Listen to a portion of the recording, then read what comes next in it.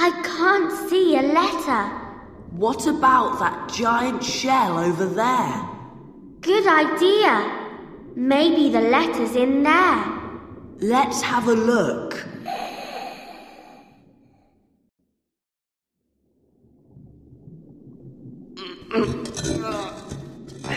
Hurry up, Ben. Is there a letter there? No, I don't think so.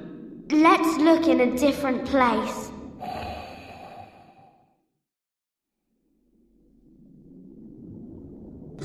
Ah!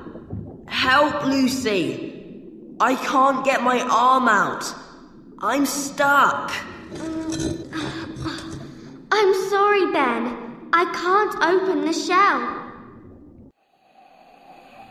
Oh no! It's Horax and Zelda. And a shark. I'm scared.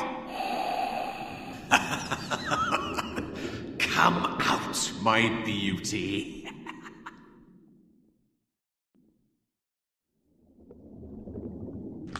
Oh, I don't think the shark is very happy with us, Horax. What? Not me, you stupid shark! The children! Get the children! Help! Help!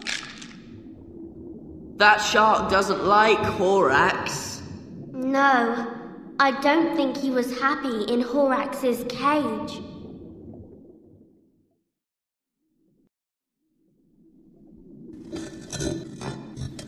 Thank you, Octopus. You're very helpful. Finally. Now we can go and find that letter. Look! Look at the fish! It's the letter S. Now we've got our fourth letter.